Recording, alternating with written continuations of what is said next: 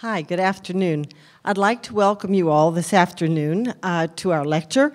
I'm Joe Kibbee, and I'm the chair of the Miller Endowment Committee. And basically, I'm here just to bring a quick word from our sponsor.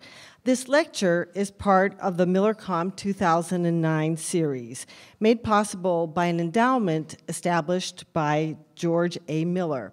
For those of you who don't know the Miller story, uh, Professor Miller was, a, by all accounts, humble and unprepossessing professor of math here in the 30s and 40s. And when he died, uh, his colleagues didn't, didn't think he even had enough money to pay for his funeral. He certainly didn't live very lavishly.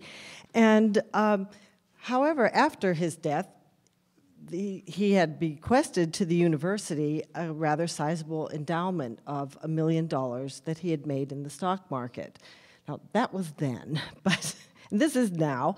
But the legacy of George of the George Miller Endowment has enabled the university to have a lecture series that is different from other lecture series on campus on campus. One of the reasons is that it is competitive. Professors and others put forth uh, proposals to bring a speaker, and there's a committee that decides on, um, on which speakers will be chosen. And often what we're looking at is appeal across disciplines.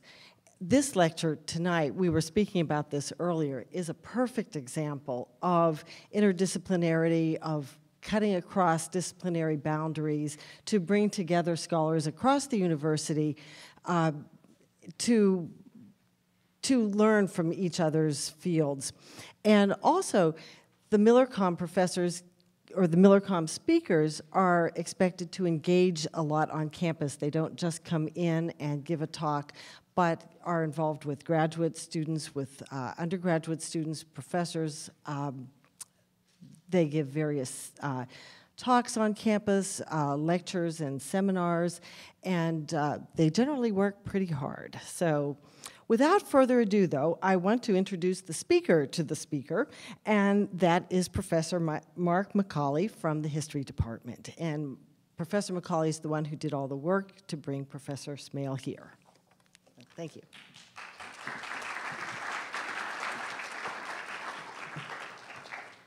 Thank you, Jo.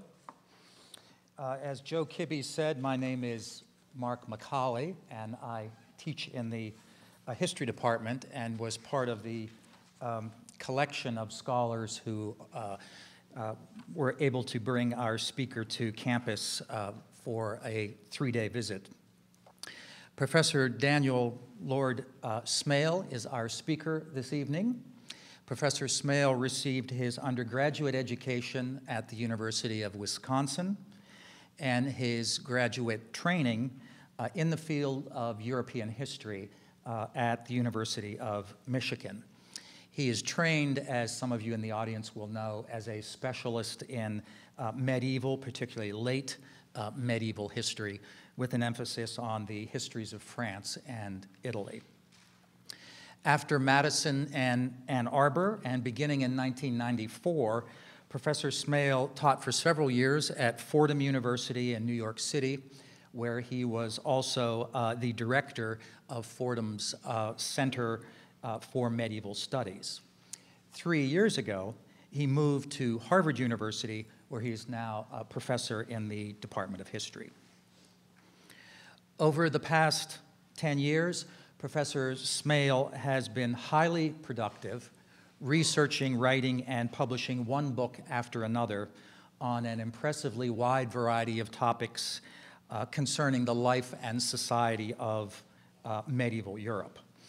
His books have also been consistently uh, recognized for their high quality, for their high scholarly and intellectual quality.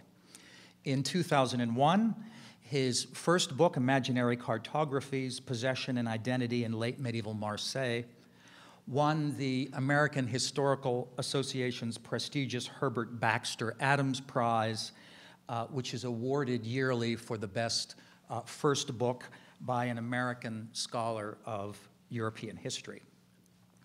Likewise, just two years later, his book, The Consumption of Justice, a study of late medieval uh, legal cultures, was awarded the James Willard Hurst Prize of the Law and Society Association. Our speaker is also the co editor of Fama, The Politics of Talk and Reputation in Medieval Europe, published in 2003, and the co editor of a forthcoming uh, fascinating sounding volume that carries the title Vengeance and Emotion in Medieval Europe.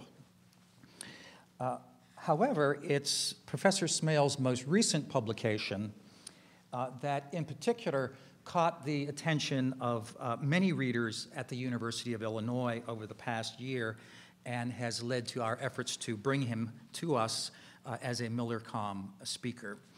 This is the short but brilliant book that carries the intriguing title On Deep History and uh, the Brain. On Deep History and the Brain, copies of which just happen to be uh, available in the lobby of the uh, Spurlock uh, museum uh, for your sampling uh, after the lecture and during the reception, to which the audience also is invited. Uh, in this short but brilliant book, Professor Smail bravely tackles some of the methodological and philosophical issues involved with the idea of deep history. By deep history, he means the past of uh, the human species that long predates the advent of written uh, records and the ages of the famous ancient civilizations of Mesopotamia. This is a human past, needless to say, that dates not several thousand, uh, but hundreds of thousands of years back. Professor Smail argues in his provocative book that the widespread practice of historians ignoring the deep past of Homo sapiens is no longer tenable in light of recent and very exciting discoveries uh, in a variety of fields of scientific knowledge. Specifically, he uh, tries to persuade us new techniques, ideas, and methods in genetics, the neurosciences, archaeology, uh, and evolutionary psychology and biology, among other fields, are providing volumes of new information that is directly pertinent to the properly historical understanding of humanity.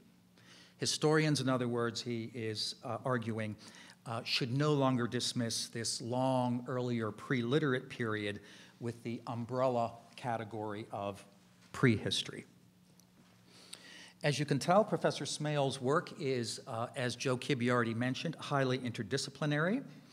And uh, likewise, it's not surprising that many uh, different departments and programs at the U of I were eager to bring him to campus. In addition to my home department of history, the departments of anthropology, psychology, philosophy, evolutionary and integrative biology, the program in the neurosciences, the Unit for Interpretive Criticism, uh, IPRH, and the Beckman Institute have all contributed to his uh, MillerComm visit, uh, for which my colleagues and I in history are deeply grateful. Perhaps the most provocative and contemporary part of On Deep History and the Brain, and this brings us to the subject of this afternoon's presentation, is Professor Smail's historical argument about neurochemistry. He insists that it is not just uh, our gross anatomical characteristics of human beings that evolved over thousands of generations, but also our brain chemistry. He maintains specifically that as human beings, we've been uniquely, we've proven uniquely capable over the centuries to induce, alter, uh, and enhance our mental states through a myriad of self conscious chemical practices and for quite specific purposes. For instance, uh, the consumption of sugar, coffee, tea, tobacco, cheap alcohol, chocolate, herbs, medicines, illegal drugs, uh, all of which, of course, have their own histories, are practices that have stimulated the production of certain chemical messengers in the human brain that alter over time human moods and feelings and that, again, over an expanse of time, have influenced social and cultural practices. He also suggests that key group practices, such as, for instance, listening to music, dancing, attending a powerful sermon or political speech, viewing a film or sports event, accomplish this same uh, effect. These products and practices, needless to say, are proliferating greatly in our own time, our own age, with its iPods, video games, cable news, medical antidepressants, and electronic erotica, uh, as well as an endless number of other new varieties of human sensory stimulation. Together and over time, according to Professor Smail, uh, these sensory uppers, if you will, have had what he calls a profound neurophysiological consequence for our lives and our history. From birth to death, our actual brain synapses are shaped by these uniquely human uh, stimulants. Up to this point, according to Professor Smail, human history has almost entirely left out the uh, human brain. And he, in contrast, makes a compelling case in his book and in his comments today for writing what he terms the new neurohistory that attempts to integrate the findings of the neurosciences of our day into the writing of history. According to our speaker, if he has his way, brain chemistry too will appear on the History Channel. Uh, I hope it's clear from my introductory comments that Daniel Lord Smail is emerging today as one of the most wide ranging, imaginative, and intellectually ambitious historians of our time. We're delighted and honored that he accepted our invitation to be a MillerComm speaker. He has titled his presentation to us today, Is Culture Just a Drug? History, Neuroscience, and the Great Transformation. And I'm sure that with his lecture, uh, he will be stimulating our intellectual synapses. Professor Smail. Thanks, Mike.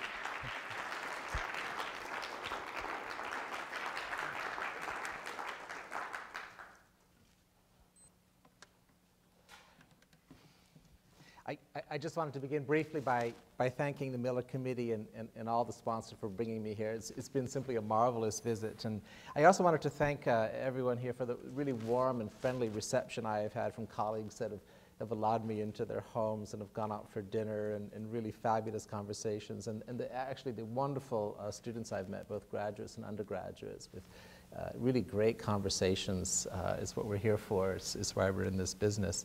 Um, and, and particularly the departments of history uh, and neuroscience or, or, the program in neuroscience and other departments. I, have just had fabulous conversations with, with colleagues here, really, really stimulating.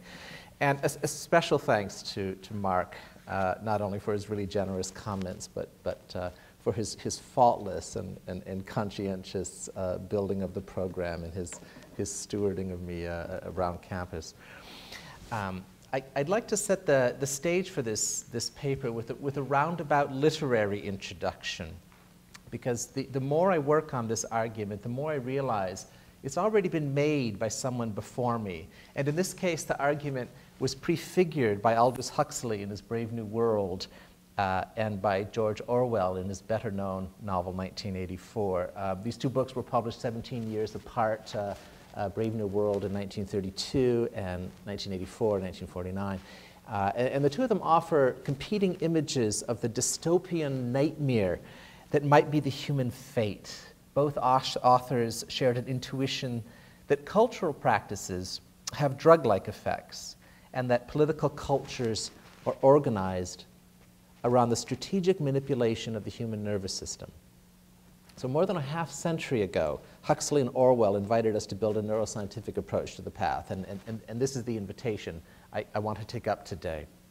Now, I, uh, Orwell, I'm going to just begin with a brief discussion of Orwell. He, he, wrote in part as a horrified observer to the rise of modern public relations. And it's, uh, modern public relations is a field and technique that owes a lot to uh, the uh, enormous figure of Edward Bernays, uh, a nephew of, of Sigmund Freud, who's, who's, often called the father of modern advertising. As Bernays explained in his 1928 work, uh, Propaganda, and he wrote about this in a positive way. It's important to understand that. If we understand the mechanisms and motives of the group mind, is it not possible to control and regiment the masses according to our will without their knowing it?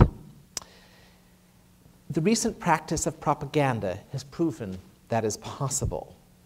Hence, Orwell's interest in the way languages and frames can twist and bend our ability to reason. But Oceania, this is Orwell's world, was, uh, was also a world of constant, never ending stress. Uh, which was visited on the body and the nervous system. So, so, whereas we tend to think about Orwell in terms of the way in which he thought about thought control, there's a very powerful body and stress element that runs through the novel. Uh, and if you think about it, uh, you, you, can think about the, the, the, the, supervision that is exercised through the two way telescreens uh, like Bentham's Panopticon, the, the constant fear of the thought police. There's some marvelous passages, and I have to say, as I was rereading the novel recently, not having looked at it probably like most of you since high school, I, I was really struck by the way in which Orwell was con- conscious of the regime playing on the bodies and emotions of the, of the subjects of uh, the citizens of the Brave New World, to, to whip up uh, sentiments through the, the, the hate exercises that, that operated on various schedules. There's a very explicit comment when she, when, in which he des describes the importance of the suppression of sexual desire. And the reason why is that all of the energies uh, that people have have to be channeled into the, uh, into the hate exercises.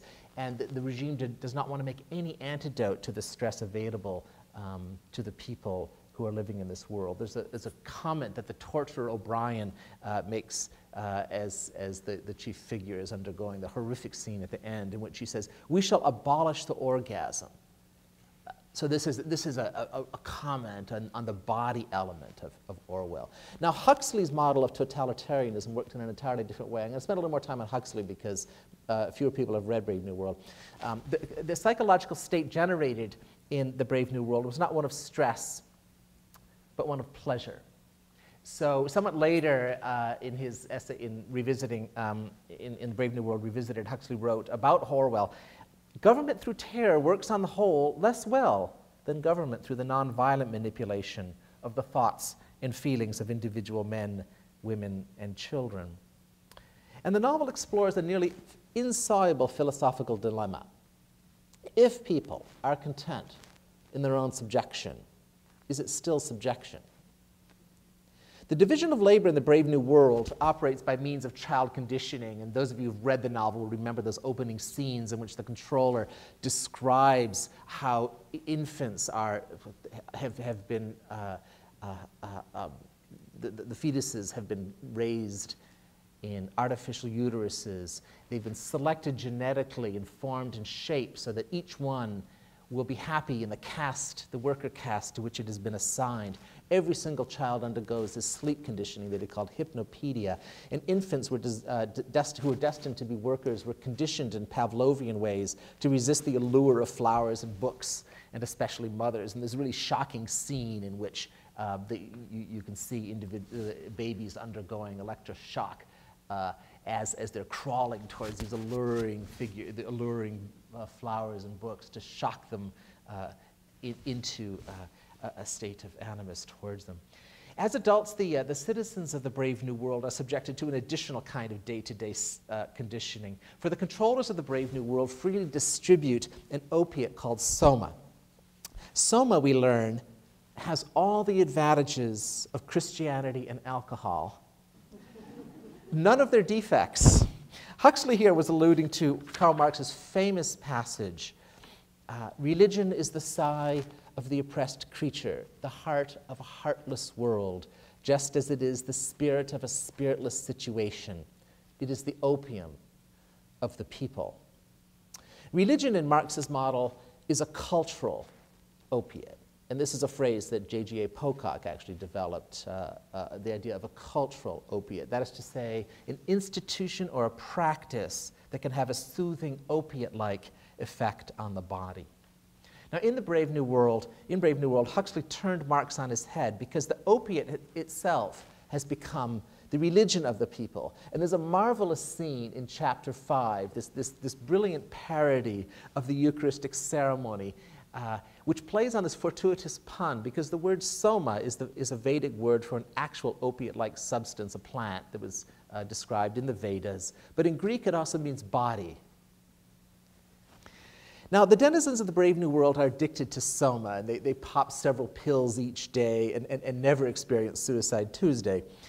But they're also both stimulated and subdued by the endless recreations of the consumer paradise the games, the dances, travel, the sensuous perfumed showers, the endless rounds of sex. All of them opiates or stimulants, albeit of a different kind. Now, as Richard Posner, in, the, in, a, in, a, really brilliant essay he's written about Huxley and Orwell, as he reminds us, Huxley was writing in the depths of a world depression. The Brave New World was the logical outcome of the Keynesian belief that consumption is the antidote to recession. So Huxley is seeing the historical trends that are leading to what he imagines will be the Brave New World. Chemical opiates on the one hand, cultural stimulants on the other. If the human goal is to pursue pleasure and avoid pain, if a regime has a total monopoly on the sources of pleasure, then that regime has created a realm of subjection like nothing ever seen before. Working together, the assemblage of opiates and stimulants available in the Brave New World, both chemical and cultural, constitute an order so finely calibrated to the workings of the human nervous system that there can be no escape. The same is true for the assemblage of stressors in Orwell's Oceania, obviously operating on a different side of the spectrum. Hence, history itself has come to an end and in describing the end of history's dialectic, Orwell and Huxley hint at a historical model, a great transformation, in which the native stimulants and stressors of the past yield uh, to a systematically designed array in the brave new world. Power, they suggest, is always mediated through the nervous system. The end of history comes about when a regime, armed with a necessary technological apparatus, hits upon the ideal combination of neurological controls. It's a dazzling and disturbing idea. For the purposes of this paper, I'd like to dispense with their intuition that transformations, uh, transformations of this type are guided by the hand of dictatorial regimes. I, just as a historian, I, I, I, revel in the idea that the most interesting trends in history are those that emerge as the, as the unforeseen or unintended consequences of shifts in practice or thought. But when their model is purged of uh, this totalitarian fantasy, it offers a startling new way to think about the transformations of the past. And in this paper, what I'd like to do is offer a glimpse at what such a history could look like. And, and by way of case study, I will be focusing on uh, medieval and early modern Europe. But the model itself demands a framework that is both global and deep. I, am not really a European exceptionalist, it just happens to be the, the world that I know a little better. As various observers have noted, medieval Europe was a region of the world generally poor in psychopharmacological substances. Now, there were plenty of cultural practices that impinged on the nervous system, um, and I describe these, I'll, I'll, be describing these as, as components of a distinctive assemblage of traits that emerged in stages along with the rise of Latin Christendom. Across the long 18th century, the century 1650, 1680 onwards, uh, a different assemblage of traits comes together. And, and, this transformation has two key elements. First, the exchange of psychopharmacological substances like caffeine and opium accelerated all over the world. Uh, and the historian David Courtwright has called this the psychoactive revolution patterns of use changed. To take but one example, coffee, which was a, had hitherto been a medicine, became a luxury, an adjunct to entertainment, and eventually a staple. Expanding production led to a growing density of psychoactive substances in, in, in all global societies, not just Europe, but throughout the world. Second, there were transformations in the basic profile of available cultural practices that impinged on the nervous system, as evidenced by the luxury debates, the mania for collecting, the passions aroused by theater, and especially the anxieties surrounding what was known as reading mania or reading fever. It was a century, remarkably, in which contemporary observers were aware of the changing forms of addiction. So I've, I've, organized this paper into, into three main sections, and the, the first one is going to be thinking historically with the brain um, and then some perspectives on, on the cultural stimulants of medieval Europe. And finally, some thoughts on these, uh, these trends I've been uh, dashing over for the long 18th century.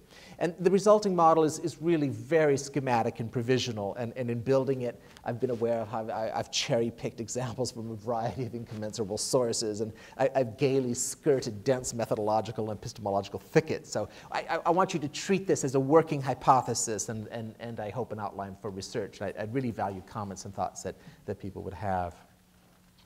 So let me begin um, thinking historically with the brain and, and, just begin with a very short nod to the fields of biological anthropology and, and paleohistorical archaeology, which I've been trying to, to, to, to learn about lately. Um, it's a field, as Mark was mentioning in his opening comments, has really developed spectacularly in the last decade or two, in part because of uh, the effect of population genetics on the field, new methods for dating, the kinds of insights that can be drawn from isotopic analyses of bone and teeth, uh, the really new work on ancient DNA that's being done by Svante Pääbo's lab and many other labs uh, around the world, we're actually reconstituting Neanderthal and early human DNA and comparing it with modern DNA um, and the emergence of the, the, field of cognitive archaeology. Um, and it's all leading to this really robust new understanding of early human history. And this is sort of part of my model that this history is so robust now that we, historians like me, really need to start thinking of this in conjunction, in connection with the history that we, we typically have, have thought about. Um, one of the most significant questions is also the one that has probably been around for the, the longest, and this is the growth of the human brain. The changing uh, size and shape of the brain case is easily graphed, and what that graph illustrates is a pattern of punctuated growth from the Australopithecine brain down to the modern brain. Now, the brain is really expensive tissue, and the large skulls are dangerous for both mothers and neonates. So, what was the evolutionary benefit that offset the considerable costs of the large brain? And this has sort of been the holy grail of, of uh, biological anthropology for uh, ever since the turn of the century, really. One of the most vigorous arguments lately is, is the social intelligence hypothesis. Uh, and this is an hypothesis that builds off the idea that humans have lived in cooperative groups for nearly two million years and are dependent on altruism like no other species. The brain, accordingly, grew to keep track of credits and debts, social alliances, and social standing. And this new social context placed a premium on the ability to accurately read and act on social signals. Um, and this is what uh, Simon Baron-Cohen in his studies on autism has called mind reading. And in the, in the, metaphor that's been proposed by Kim Sterelny and Paul Griffiths, this situation created uh, what they're calling a cognitive arms race, where the most important selection pressure was not the changing environment, not the use of tools, but the need to keep up with everyone else's mind reading ability. Now, the changing use of the brain pushed the evolution of practices or mechanisms that interact with the dopamine reward system and the, and the stress response system. Um, and, and, these are really truly ancient systems found in all reasonably complex animal species. That's why we can do experiments with rats and export them onto humans. Uh, for animals need to receive pleasure for doing good things and pain for doing bad ones. Basic biology. In social species, the two systems are harnessed to the demands of cooperative life. Pro-social activity, generates a reward. Stress mounts if the animal is at odds with or isolated from the group. The sensory deprivation experiments first conducted on, on human subjects uh, at McGill University uh, in, in, the 1950s vividly illustrate this point, and I'm, I'm, sure some of you are much more familiar with this than, than I am.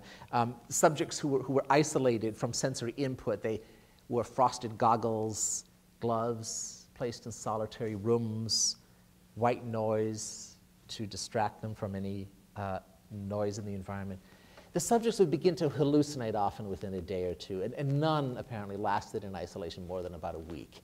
Uh, horrifying studies conducted in the 1970s showed that newborn rhesus macaque monkeys went psychotic and suffered permanent neurological damage after being isolated for several months in the aptly named Pit of Despair. And obviously, these studies are, are, well known to, to people in the neurosciences, in part because they created such impediments for doing future research, perhaps, perhaps justifiably, but I, I gotta leave that to other people to decide.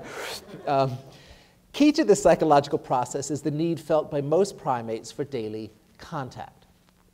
As the psychologist and primatologist Robin Dunbar has argued, grooming is not just about parasites it is, uh, it is crucial for building and maintaining social relations. Grooming generates a pleasant dose of dopamine and serotonin, uh, along with oxytocin, uh, the peace and bonding neurotransmitter.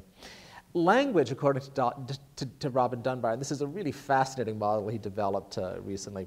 Language allows for gossip, which is the kind of verbal grooming. So, using gossip, what humans can do, in effect, is extend the reach of chemical bonding, if I can use that word, across a much larger network. In practice, this means that humans can live in groups of unlimited size, unlike other primates, where you have caps largely on group size. It's actually strongly correlated with the size of the neocortex. Dunbar's insight is key to answering one of the great questions we ask today, we in, in history perhaps, namely how large imagined communities were made possible. In both birds and mammals, the sensitivity of this neurochemical system makes us susceptible to psychoactive substances. And this is why a lot of animals and birds like to partake in alcohol and, and, and other substances, right? Um, but the system is also open to things you do to yourself, and especially open to things that other people do to you. The nervous system is like an array of Geiger counters, constantly measuring the signals bouncing around the social environment. Most of the processing takes place without our full awareness. And Edward Bernays has built an industry on this understanding. But Bernays was not the first person to make this observation. Writing in the mid 16th century, I'm afraid I'm being a rah rah humanist here, right? The French essayist Etienne de la Boétie observed that theaters, games, plays, spectacles, marvelous beasts, medals, tableaux, and other such drugs, and the, words he, the word he used was la droguerie, were for the people of antiquity the allurements of serfdom, the price for their freedom, the tools of tyranny. To be enticed by what Juvenal had called bread and circus was to submit to voluntary servitude now, La Boétie's idea of voluntary servitude was an early contribution to a long intellectual thread leading through Marx and Gramsci and beyond, uh, well, to Huxley, and then beyond to the uh, cultural critique of late capitalism that was, that's found in Neil Postman's 1985 work, Amusing Ourselves to Death, which I'm, I'm sure many of you have, have, have read. Now, primatologists have described a daily dialectic between the stress response system and the dopamine reward system. Dominant males and females visit stress on subordinates, the better to maintain their own high rank. Pleasurable grooming and same sex sexuality among primates helps to build and repair social bonds and alliances. So you get this sort of dialectic back and forth on a, on a daily basis. Among humans, the daily dialectic between the dopamine reward system and the stress response system is also a kind of historical dialectic. The neuroscientist Robert Sapolsky has uh, offered the most vivid uh, point of departure for this argument. Um, uh, stress, he argues, uh, is distributed unequally across the social spectrum, and he's drawing his, his material from the, his studies of stress in modern populations. The poorer you are, he argues, typically the more stress you endure. The transitions that have taken place in recent human history, that is to say the, the last 10,000 years or so, have created hierarchies of wealth and power that have institutionalized forms of stress. This, this is the key to this, this argument that Sapolsky is developing. Now, what I think we need to add to Sapolsky's observation is the possibility that institutional stress can be balanced by practices that relieve stress and provide diversions. These can be cultural, as La Boétie divined, but they can also be psychopharmacological. Uh, and just to take a modern example, and this is from a work I was flipping through recently by Frank Dikötter and his, his co-authors, um, they, have argued uh, that consumption of opium in the Chinese countryside in the 19th century tended to in increase in times of malnutrition.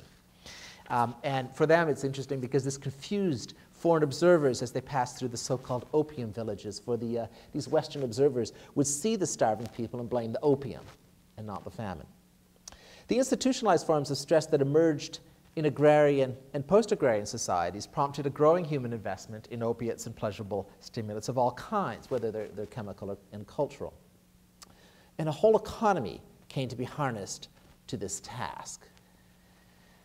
This model proposes then that, that human history has been shaped by a continuous dialectic between the dopamine reward system and the stress response system. The dialectic was initiated in Africa some two million years ago with the emergence of hominins and cooperative living uh, it's been fed by the cognitive arms race and especially by human, changing human population densities. Significant steps were taken after the modern humans colonized the globe, starting around 85,000 years ago, which is a little about coterminous with the emergence of, uh, of what's been called symbolic thought. Um, agriculture, cities, and whole civilizations added new wrinkles to this dialectic. Now, Huxley, to go back to some of the images I was setting up at the beginning of this talk, Huxley imagined that this dialectic could come to an end with the, the victory of pleasure, as it were. Orwell favored stress. Like most of you, I hope, like most of you, I, I suspect that the dialectic is never ending. Um, but I, I, sometimes worry that Huxley was right after all. And frankly, if you start to Google Huxley uh, around this question, you'll find that this is the, the, the, concern that lots and lots of, of bloggers and essayists are having. You know, was Huxley right? Uh, yeah, so, so Huxley is now, this is the Huxley-Orwell comparison. Huxley is now rising and Orwell's declining in, in some funny, interesting way. Now, do we need the language of neuroscience to talk about changing patterns of reward and stress in human society? And the answer clearly is no. The reason I've offered you the insights of figures like La Boétie and Marx and Huxley and Orwell is to show how this stuff has long been obvious to humanist observers. But the neurobiology is helpful, for it shows us uh, shows that there is no meaningful distinction between cultural practices and psychoactive substances. Both kinds of inputs, input are translated into the language of the nervous system that that language consists of synapses and neurochemicals and a hideously complex grammar. Um, and I have to say, the more I look at it, the more I, I quake at the, at the complexity of the grammar of this language. At the level of the synapse, the effect of cultural traits and practices is very similar to the effect of psychoactive substances. Culture is indeed a drug. But drugs themselves are part of culture, delivered by commerce and bound up in ritual forms patterns of use can and do change significantly from one historical society to another. So it is all one. Now, this insight allows us to fashion a category of analysis that embraces cultural stimulants along with their psychoactive counterparts. And I call these collectively psychotropic mechanisms, uh, the spectrum of devices, practices, or substances available in any culture that alter the nervous system to greater or lesser degrees and perform political or social work. Every political society has a characteristic assemblage of psychotropic mechanisms. And the history I'm proposing, therefore, is a history of transformation in psychotropic assemblages. So let me move on to the, the second major part of my paper, which is um, offering you just some brief thoughts, some case studies from medieval Europe. Now, medieval Latin Christendom toward the end of the first millennium was a world tucked away in the northwest corner of the Old World at a remove from the vibrant civilizations and trade networks that stretched from Al-Andalus to the Song dynasty China. Gone were the psychotropic mechanisms of the ancient world, the theaters, games, and spectacles described by La Boétie, to which you could have added an eroticism worthy of the Brave New World. Europe at this time was a, world, was a world in which the luxury items of the age, such as gold and ivory, the spices, the fine silken fabrics of the great Islamic and Chinese civilizations, were all imported, mostly in exchange for slaves, and did not circulate much outside the great secular and ecclesiastical courts. There's, there's, actually a lot more archaeological debate about that claim of mine, so I'd have to defend it if there were some medieval archaeologists here. It was a world largely bereft of psychoactive substances. Other old world societies had their tea, their coffee, hashish, and marijuana, opium, even the soma of the Vedas. And there's, there's actually lots more. In New World societies, obviously, had long since discovered coca, tobacco, peyote, a variety of hallucinogens uh, that are circulating throughout the, uh, the Caribbean and the Amazon basin. Now, none of this was native as a, as, as a plant or a substance to the European backwater. Now, the major exception to this was alcohol. Richard Unger has argued that Northern Europeans consumed at least a quart of ale or small beer every day. It was probably a lot more than that, um, matched in southern latitudes by wine. And, and, and, as you uh, contemplate these statistics, it's, hard to avoid the impression of a continuously in, intoxicated society. Um, and Wolfgang Schivelbusch, indeed, has described a great transformation from what he called, I love this term, the alcoholic stupor of the Middle Ages to the common sense industry um, uh, of the caffeinated middle class culture of early modern Europe. uh, but this is an egregious misreading of the medieval evidence. Medieval wines, ales, and beers had lower alcohol content uh, than their modern counterparts. Wine was a thin and vinegary substance with an alcoholic content of, of usually no more than about 5%. And even, even then, it was typically mixed with water for drinking. Um, Ales and beers made from the first wort were not necessarily weaker than modern beer. This is a question of, of the, the, the strain of yeast that's being used. Um, but Brewsters drew second and even third worts off the grain, unlike typically modern brewers, um, which re- resulting in small beer with very little alcohol content. Uh, and, and this, the small beer was, the, was the, in fact, the beer that was most commonly consumed. Um, it, was, it was stirred up, cooked up in a breakfast porridge for peasants. That was a very common way in which the beer was consumed. Um, alcoholic beverages were consumed for health and dietary reasons. Recreation was not the chief function. As Unger has put it bluntly, the society did not know about alcoholism. Now, medieval Latin Christendom, in short, was a world in which the range of psychotropic uh, mechanisms was largely restricted to the things people do rather than the things people ingest. How do we find evidence for these things? How do we describe the psychotropic assemblage of medieval Europe when we are necessarily limited to indirect evidence and inferential arguments? Now, happily, medieval Europe, uh, although psychopharmacologically poor, was rich in texts and other sources, which is the reason that I find it a fascinating world to study. Not because it's the origins of the modern world, but because it's a richly documented early society. And in recent work, I've been taking two approaches to the evidence. First of all, swings in body states express themselves on the outside of the body in the form of emotional displays or somatic gestures like blushing, pallor, fainting, sighs, tears, and, and so on. There's a whole range of these somatic gestures. Um, and by way of example, let me offer you the marvelous description found in Raymond of Capua's Life of St. Catherine, which was written about 1380. Um, in addition to everything else that she did, Catherine was a, was a peacemaker. Um, and, and one day Raymond sought out her, her help in, in pacifying a, a troublesome Florentine, um, um, sorry, a Siena named Nanni di Servanni. Catherine's entreaties seemed to be going nowhere, but with, great ill grace, um, Nanni finally agreed to let her try and resolve one of the feuds that he has. And, and, and, this is how, how Raymond describes the climactic scene. I have four feuds, says Nanni. As to one of them, you can do what you like about it. Having said this, he got up and made to go. But as he did so, he exclaimed, My God, how contented I feel in my soul from having said I shall make peace. And he went on, Lord God, what power is this that draws and holds me? I cannot go away and I cannot say no. Who has taken my liberty from me? What is stopping me? And with this, he burst into tears. I own myself beaten, he said. I cannot breathe. He fell on his knees and said, weeping, Most Holy Virgin, I will do as you say. In addition to offering somatic gestures like tears and, and, and, constriction of the chest, that's, that's one of the ones that Raymond's writing about here, medieval observers sometimes describe interesting body states without using somatic terminology. So, just by way of example, when Catherine first arrives at the house where Raymond's trying to set up this piece, um, Raymond describes himself as being filled with, with joy. Sifting through medieval texts, we find many bodies that are moved by joy or happiness. We find descriptions of compulsive behaviors. We find things that soothe as well as things that excite and agitate. Descriptions like these are scattered thinly, I have to acknowledge that, thinly but meaningfully across a variety of genres. As it happens, they are virtually non existent in, in, the legal contracts and court records that most of my prior re- research has been, has been, based on. These are the, the books that, that Mark mentioned. They are most common in narratives such as chronicles, epics, and romances, as well as uh, moral treatises and, and letters.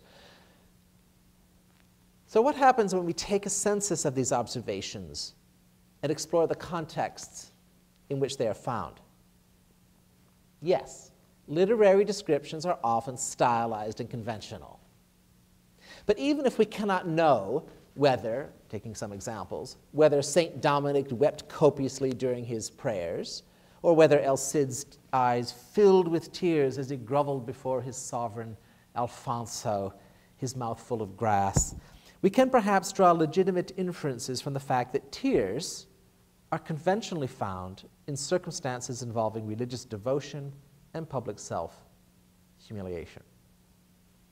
Now, in the interest of time, let me give you some of the highlights of my very preliminary census. And these are things I've been just working on for the last few months.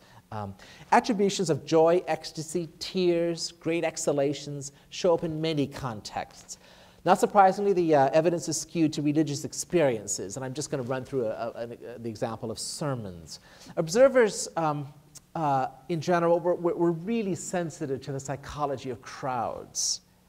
In their accounts, we find rare but interesting descriptions of collective tears, sighs, and groans in response to sermons. Medieval authorities on the art of preaching, as Beverly Kienzle has observed, advised preachers to go carefully. If the audience is weeping too heavily, ease back a bit.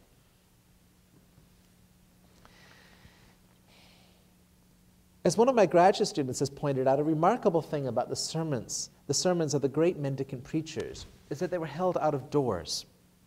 And if you've ever given or attended any speech out of doors without a microphone, you'll know that the audible range of an outdoor talk is very restricted. Yet the descriptions of audiences at medieval sermons sometimes suggest crowds numbering in the thousands, especially as the, the, the mendicant preaching really takes off in the 13th and 14th centuries. Most of them, most of them could not have heard the content of the sermon. The messages conveyed during a sermon were therefore as much visceral as they were intellectual. And experts on sermons, uh, like Kienzle, agree that listeners experience sermons as a form of theater, complete with joys and sorrows and great swings in mood. So the suggestion here is that they're responding as much to the somatic responses of the people ahead of, the, ahead of them, and that the message is traveling back through bodies as much as it is through ears. Now, surveying this evidence, it is clear that the cultural stimulants of medieval Europe were marked uh, by the context of publicity. When you look at the, the, things involving sermons and many of the other contexts I've looked at, uh, you, you, find this publicity in a lot of them. Geoffrey Koziol describes scenes of begging pardon and favor where audiences were moved to tears and exhalations as the supplicant prostrated himself in public, his arms outstretched in the form of a cross. Now, this is not to say that men and women in the Middle Ages were never moved in solitary ways, and, and sort of, you know, for specialists, one thinks of the, uh, uh, uh, of the tears, the constant tears of Margery Kempe. Nonetheless, solitary pleasures are not nearly as marked in medieval sources as they come to be in the 18th century. There's this context of publicity you see so often. Medieval sources describe people who were moved in the context of interpersonal relations, especially in situations laced with power, competition, and coercion, uh, such as the uh, enormous burden of expectation that Catherine had laid upon Nanni di Servagni. A close study I've made of the somatic gestures in the Old French rep, uh, epic Raoul de Cambrai confirms the point. There's about 100 somatic phrases in, in, in this poem, uh, and almost all occur in contexts that a primatologist like Frans de Waal would instantly recognize as contests over rank order. Perhaps above all, here and throughout the sources I've looked at, we find descriptions of people being moved in situations involving relationships between people and not between people and commodities. There are major exceptions to this. Um, um, I'm thinking of the joys derived from plundering. It's a very common convention you see in, in texts involving the Crusades and other expansionary movements.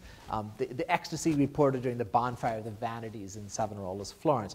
But even so, this was not a world marked by what psychotherapy is now calling compulsive shopping disorder, a disorder that we now know is driven by the uh, dopamine reward system. Medieval Europe had its compulsions. God knows it had lots of compulsions. But by and large, they were not solitary compulsions and they were not commodity centered compulsions. Now, in his essay comparing Huxley and Orwell, Richard Posner has noted that Orwell's joyless Oceania was modeled on medieval Christendom. So go back and read the novel with this in mind, and you'll find it reads totally differently. The two way telescreens, the thought police disguising itself as the ministry of love, the exercises in hate, the suppression of sexual desire, these, Posner tells us, are barely concealed allusions to the disciplinary regime of confession, the regime of inquisitorial terror functioning under the banner of Christian love, the frenzied sentiments directed against witches and heretics, and the joyless sexual puritanism fostered by the medieval ascetic tradition. Almost nothing in the 20th century can escape the image of the medieval at, at some point or another, as this, as this shows. If this preliminary census that I've done has any merit, it shows that the world of medieval Europe was nothing like the world of Oceania. Every medievalist today knows this. I do think that medieval European society was a high stress society, not unlike the uh, Oceania in that regard. And, and, my current very specialized research on financial insolvency in 14th century Marseille, I know it's very fashionable to write about bankruptcy in the 14th century in this particular climate, um, and, and Lucca, suggests that debt recovery was a, was a high stress operation involving ample opportunities for public humiliation. But this, this stress was visited upon debtors by their creditors in much the same way that stress was decentralized and interpersonal among the military aristocrats described in the poem Raoul de Cambrai. So, this is not Orwell's world in which the mechanisms for delivering stress have been gathered into the hands of Big Brother.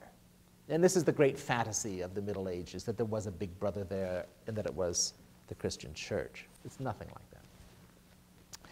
The other thing we learned from this brief survey of the medieval psychotropic assemblage is that Marx was wrong.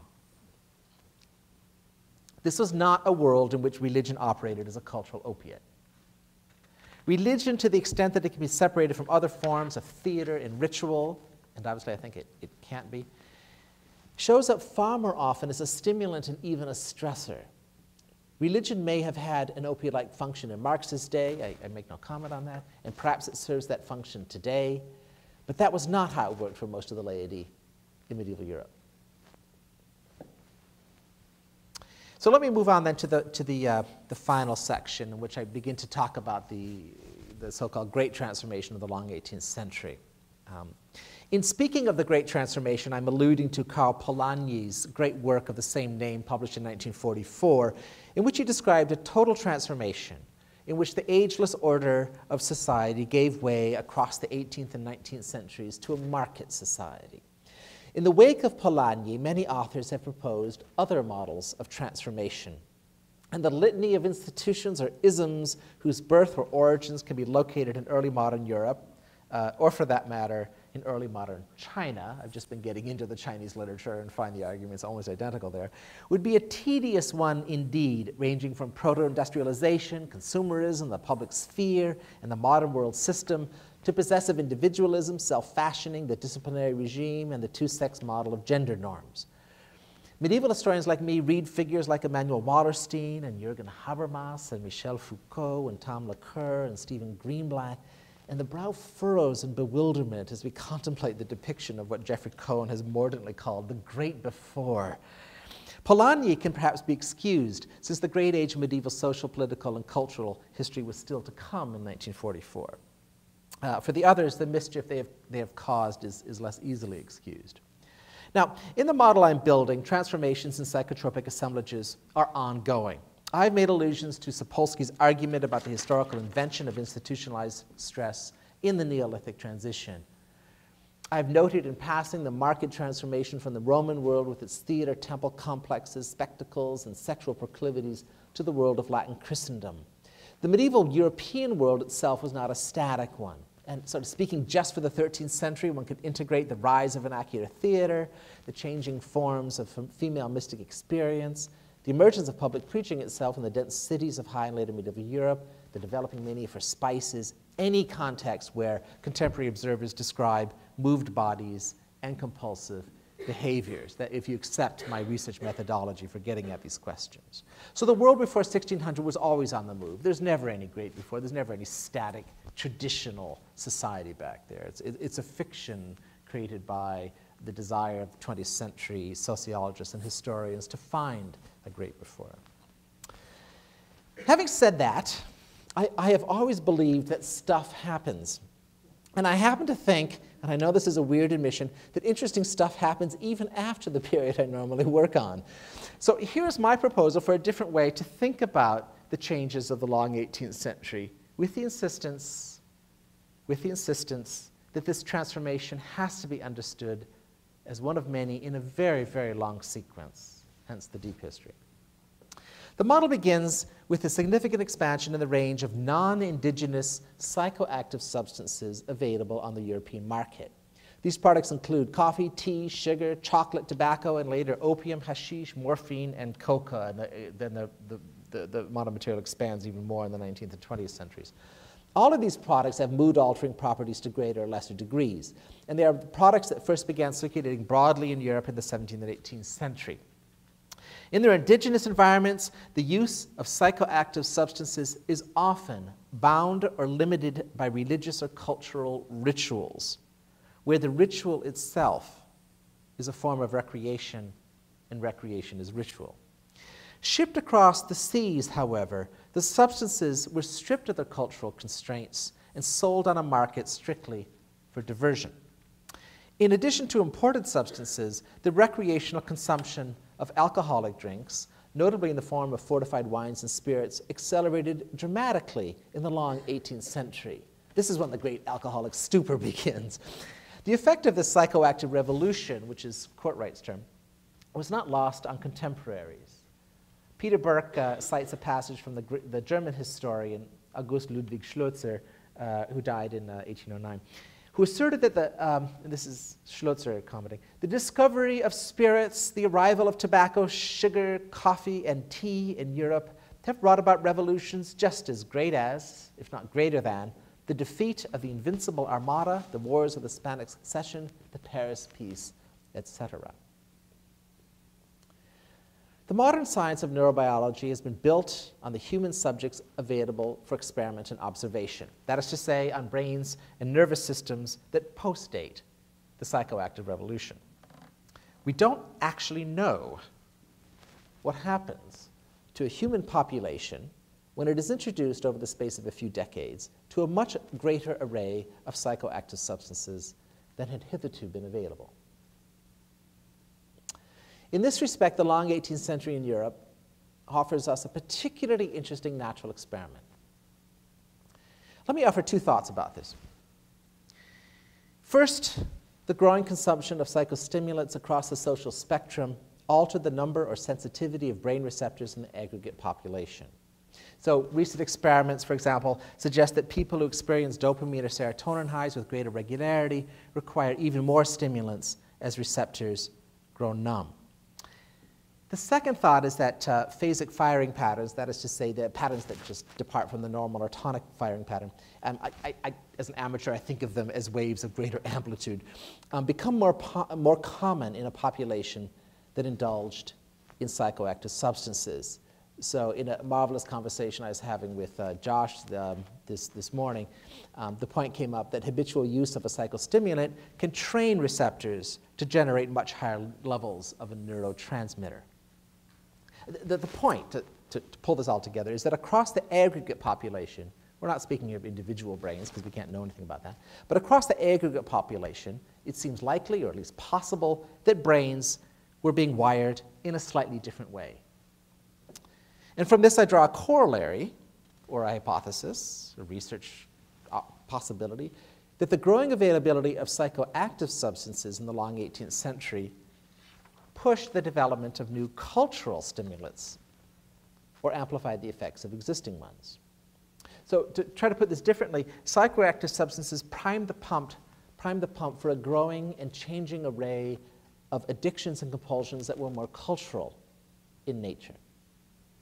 And if you want, and historians like me tend to back away from these kinds of claims, but if you want, you can translate this argument in, onto historical trends over the past few decades, the growing, where the growing presence of psychoactive uh, drugs, psychotherapies, uh, uh and alcohol among adolescents has helped to promote things that are now called internet addiction disorder and Facebook addiction, and the fairly new, um, I just discovered this, addiction to text messaging syndrome.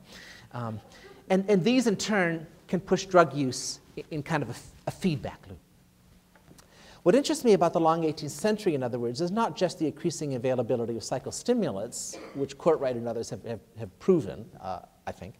What interests me is the evidence for the simultaneous emergence of cultural pattern, patterns and practices described by contemporaries as compulsive or addictive.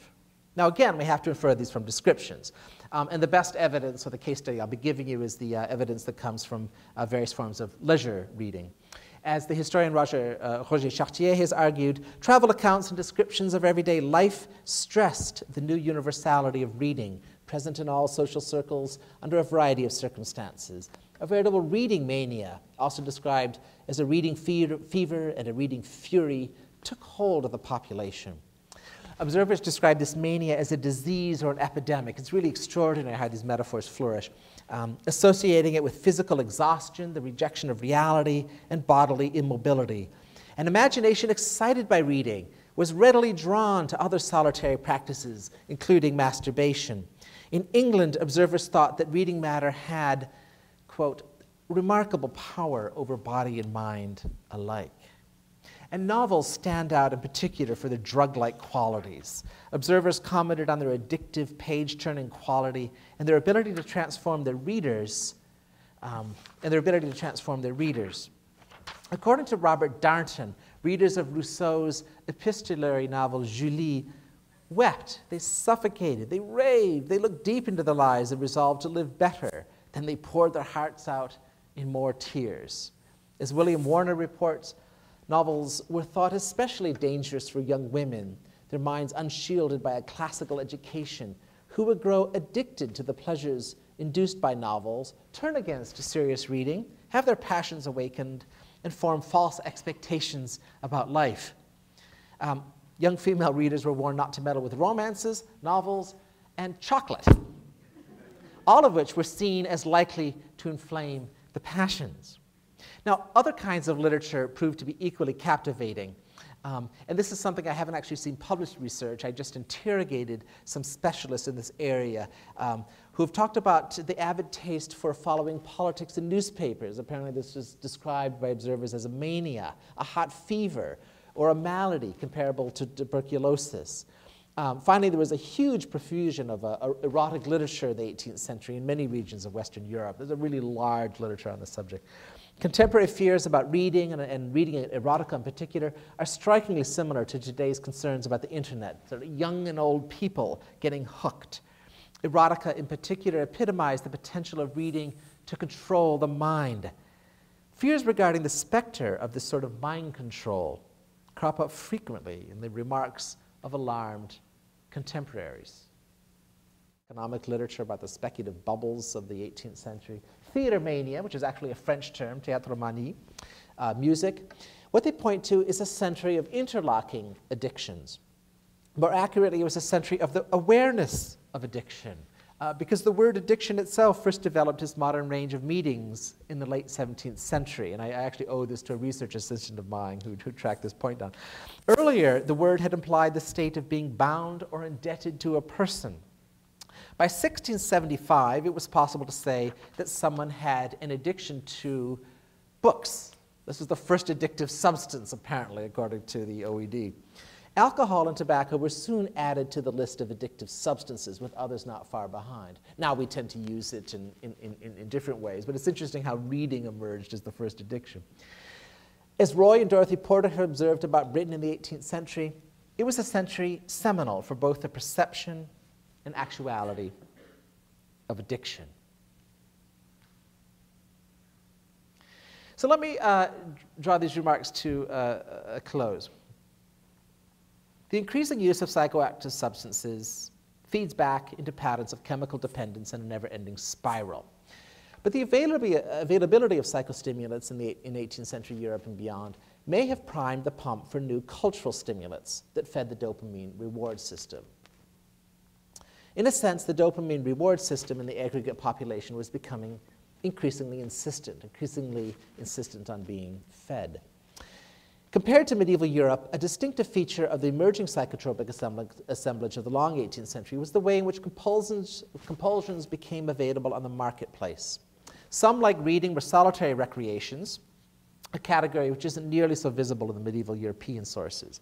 These uh, joined the continuing thirst for public spectacles, such as the pay as you go theater and music performances, not to mention the state sponsored spectacles and pageants that remained free to all comers. What are the implications for the nature of power?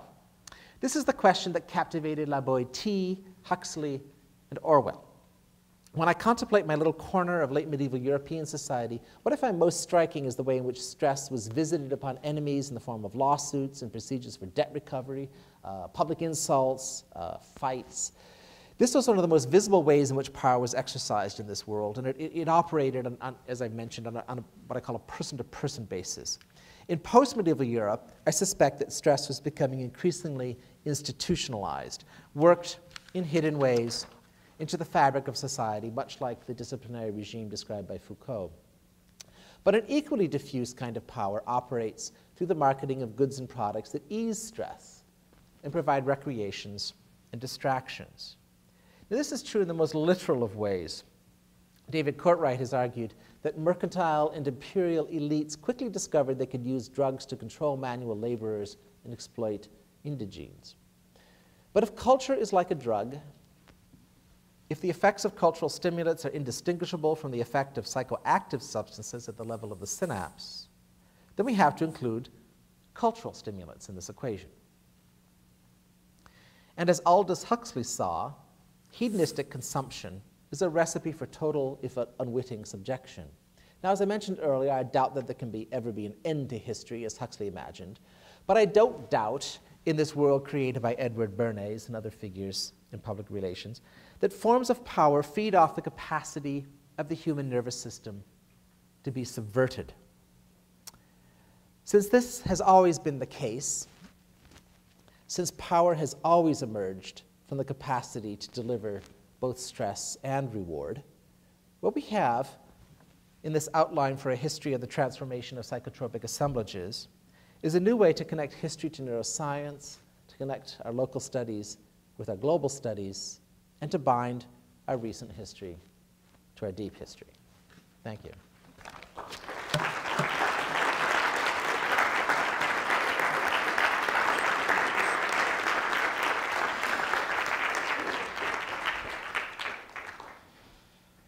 So we're fine for time, and uh, Professor Smail has agreed to uh, take your questions, and I I think I'll let you field Sure, yeah, if that's okay.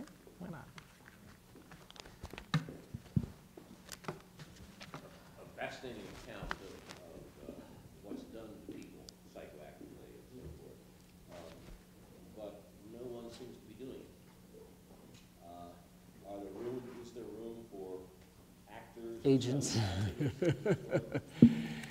Well, part of the reason that I made this allusion to Bernays, and, and I, I could have entirely rewritten the paper, the paper around Bernays, is that in the 20th century, and I, and I don't know enough about earlier periods to make this claim, but in the 20th century, there's no question that, this, that the marketing of, in this, particular, in this particular case, the marketing of desires becomes a very self conscious goal of public relations. We can certainly begin to see active intelligent agents doing this from, from at least the 1920s onwards. Frankly, I really doubt that previous uh, figures, let's call them, or agents, were unaware of the effects of the things that they did. I, I haven't yet seen evidence where they would write about it, but I wouldn't expect them to, to write about it.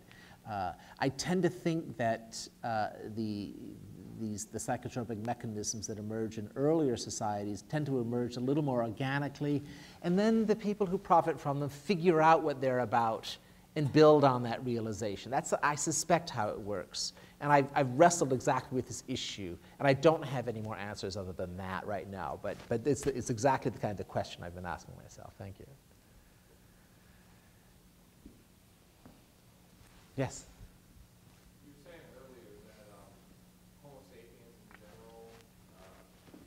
You know, I've, I've just realized that we're supposed to be, yes, recording this. You, can you wait for a minute while we get the microphone around?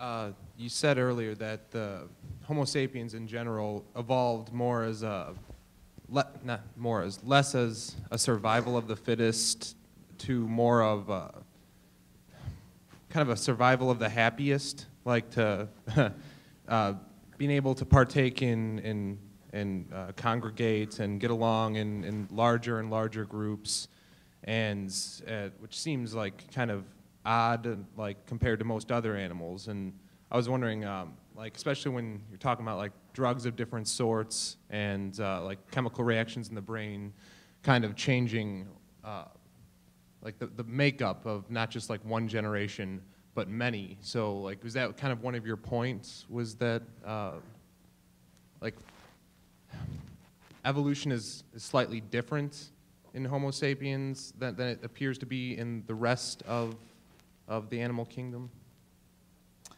Well, That's a really biggie, and let me just think about small pieces of it. Uh, I, I, I, wouldn't, I wouldn't say that the cognitive arms race is about the survival of the happiest. I think the people who've worked on this idea of the cognitive arms race have actually talked about as the, the survival of the most manipulative.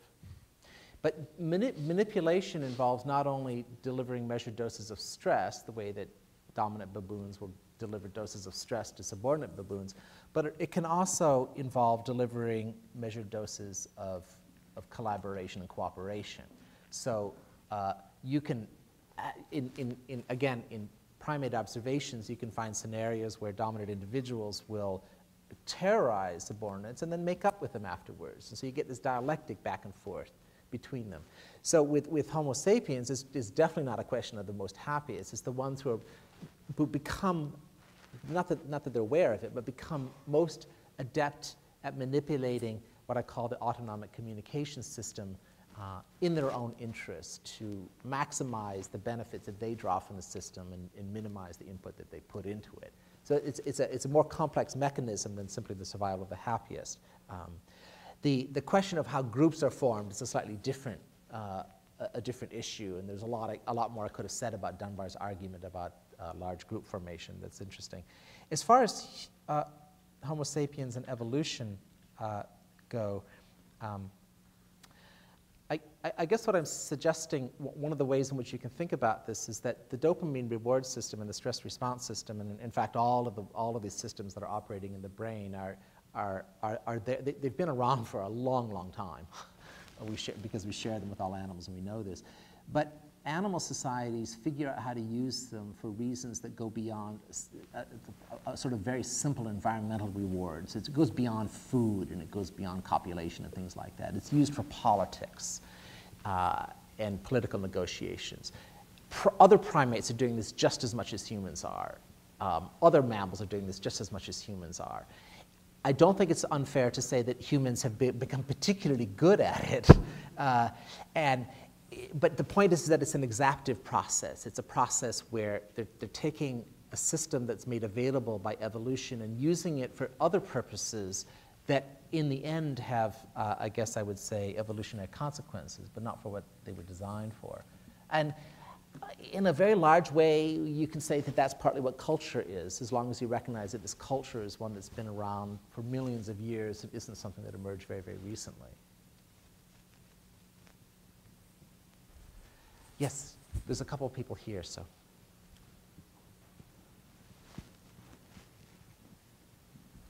I find this a very persuasive model for think, a very persuasive methodological model for historians, and also of course, opens up all sorts of interesting questions about how we study what appear to us to be changing moral and legal systems.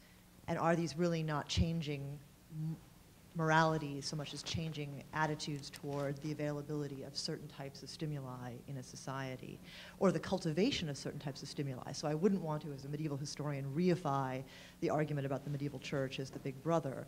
But it is fascinating, for instance, that there seems to be an awareness on the part of canon lawyers or the writers of penitentials in the early Middle Ages that certain types of, say, sexual behavior are better channeled toward uh, either procreation or toward uh, the, the public good rather than toward personal gratification, masturbation, things like that. Absolutely, absolutely. And whether, and so, you, so if we think about, say, what people struggle with constantly. How do we understand, for instance, the very different um, sexual morality of 5th century BC Athens yep. versus 2nd yep. century AD Rome versus 12th century, you know, that maybe this has to do with, would you say that that has to do with this sort of the availability of these types of stimuli and the way they're being channeled by society? Yeah, yeah, absolutely. Uh, Carol, I, would love to make this argument. Um, I haven't yet found the materials for doing it, which is why for this particular talk I shied away from it. Um, let me suggest maybe a, a, fragment of the way in which I thought about it. I, have always been fascinated by the way in which, I, I, suppose it's a commonplace, the way in which the Christian moral system, the way in which the, uh, among the early church fathers, they, they, they begin to the, imagine that the sin of desire and what effect that has on people is up and down the line a, a rejection of, of Roman practices. I mean, this is a, a commonplace. Uh, so obviously, the ascetic sexual tradition is a response to the, the sense of hedonistic sexual uh, you know, erotica in the Roman world. So it's up and down the line. It's food, it's sex, it's, uh, uh, it's theater, it's, it's, it's all kinds of things.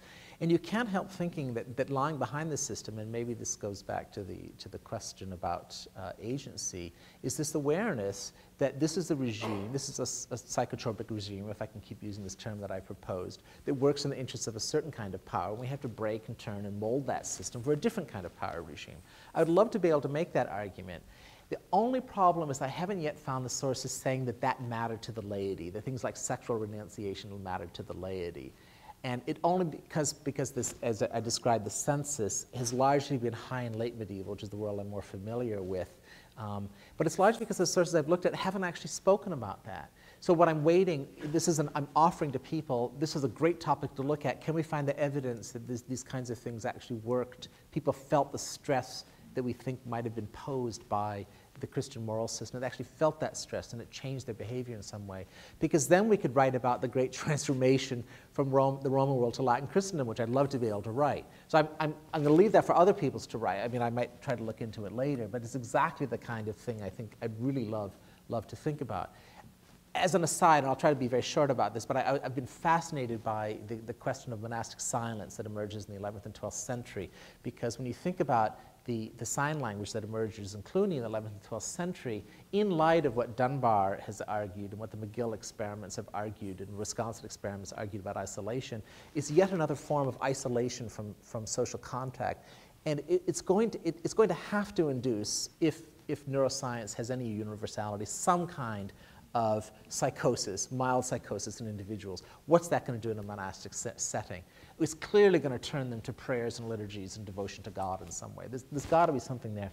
And so the only, the only reason I left that out of that paper is that I don't see the laity participating in that world. It's a very isolated world of monasteries. It works in a monastic context, I think. Um, and I'd love to be able to translate that out. But I'm gonna, like, this is something I hope that we medievalists can talk about, absolutely. I think there was another question right up here. Okay.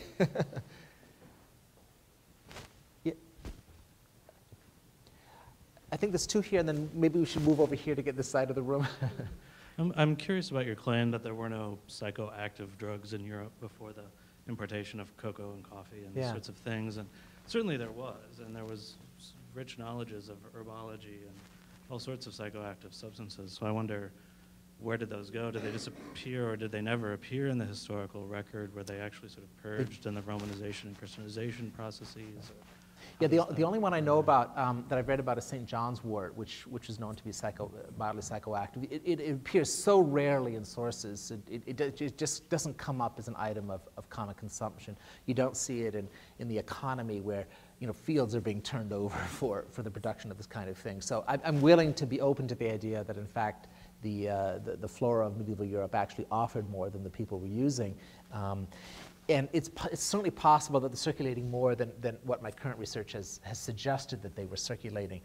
If, if they're available, and, but if I'm right in suggesting that we're not actually used, it becomes even more interesting. It goes back to Carol's point that maybe it's something to do with, um, with the, the, the, way in which the, the system is very carefully controlling the source of psychoactive substances because of what it is doing for the, the, the, sort of model for power that I've been, I've been trying to develop. So I, I, I, actually looked into that question and I'd love to know more about it.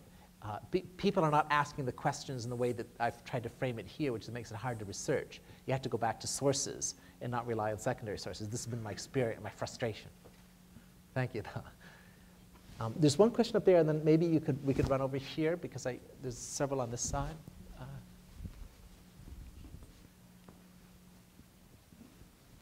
Thank you. Um, I, would like to just return to the agency question, which I guess, uh, troubles me as it troubles you and the other questioner.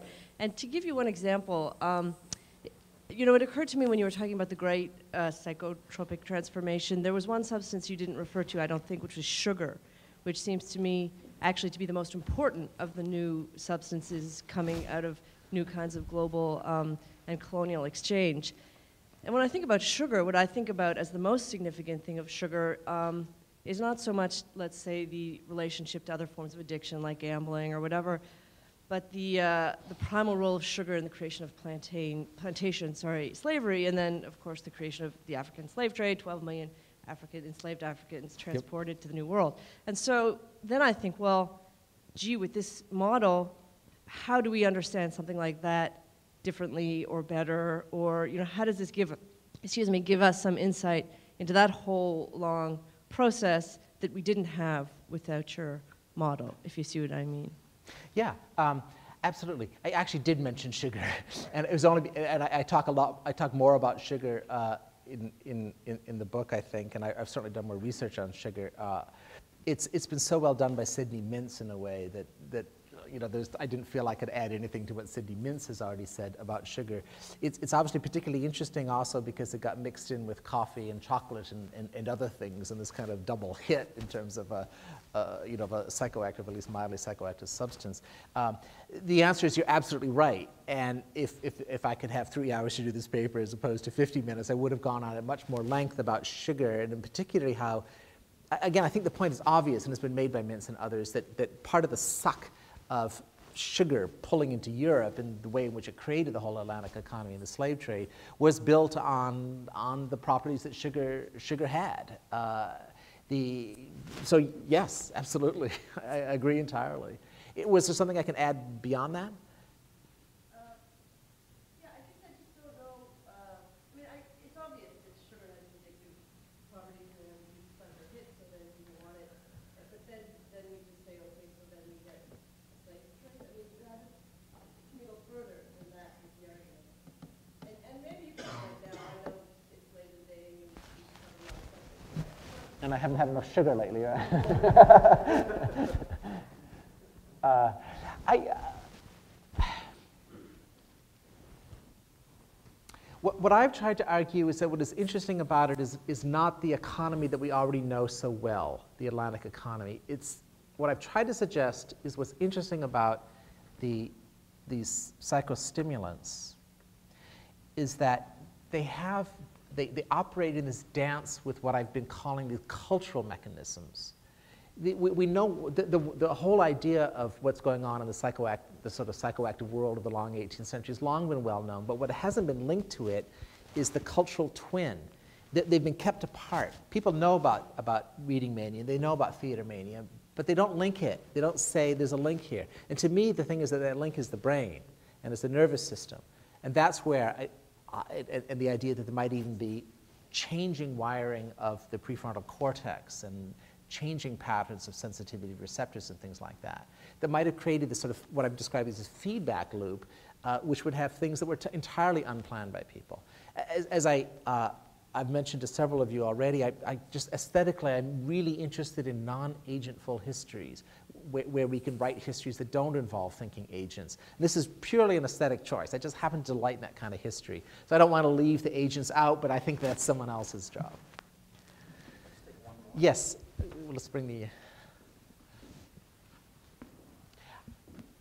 Maybe we could take two more because I think you had your hand up too.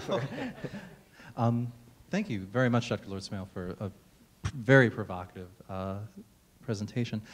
I was curious if you could elaborate on how the character of the experience that's induced by the drug being consumed um, influences the kind of culture and the discourse and the actions that are produced under the influence of that drug. I mean, you know, the stream of thought that's produced under the influence of coffee is very different in character from that produced by marijuana versus alcohol versus opium thinking about absinthe in Montmartre and how that the character of that experience very strongly influenced the art that came out of the Moulin Rouge, um, and also whether you think that the you know the mix of substances that's being consumed, you know, influences cultural divergence. Um, specifically thinking here about opium and how you know that remained a subculture in the West, very important. I mean, the British fought a war to to uh, ensure their continued supply of opium, but you know, De Quincey's dreams didn't seem to filter through the whole culture, in, in, and they weren't as ubiquitous, it seems, as they were in China. So,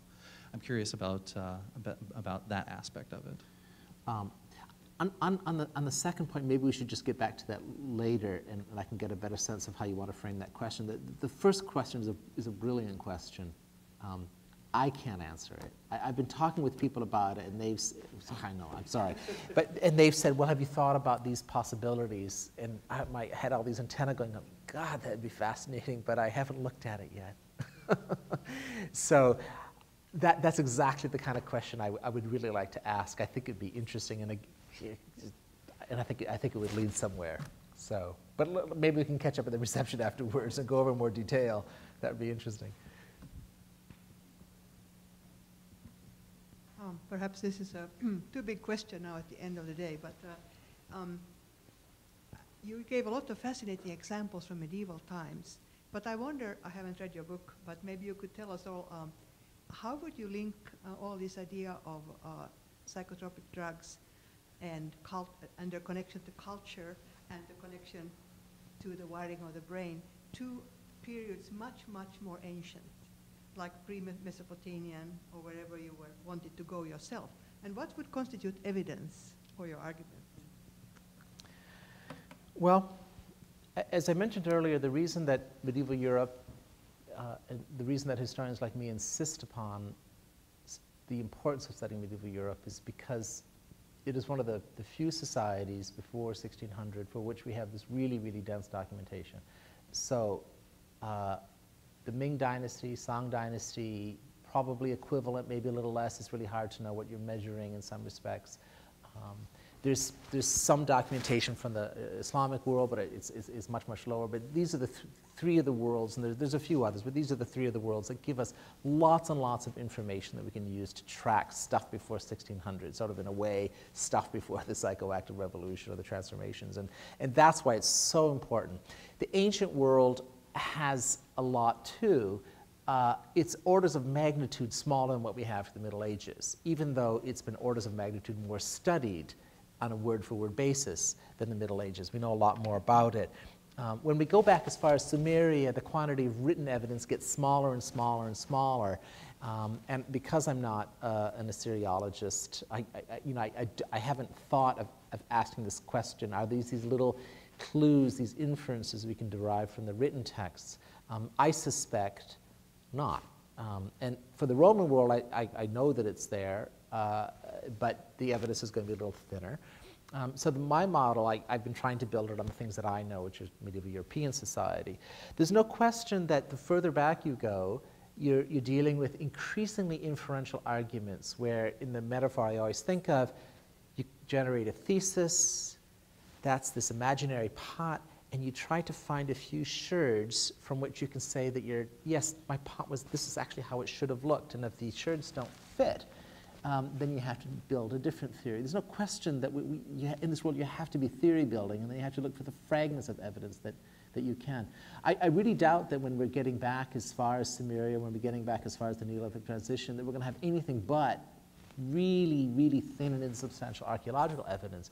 But the, what's fascinating about the archaeological world is the way that the people who move in that world, I'm just an amateur, really happily construct interesting, fascinating arguments about this. Um, I, and this is, I, I just mentioned Sapolsky in passing, but that are built on, on models about demographic transitions and draw their evidence from primate studies and this, that, and the other. And so there's no question that the shape and the form, these are, these are these kind of uh, epistemolo- methodological thickets that I said I was going to gaily skirt at the beginning. I'm aware of all of them, but there's no question that the, that the shape of the methodology changes the further back you go.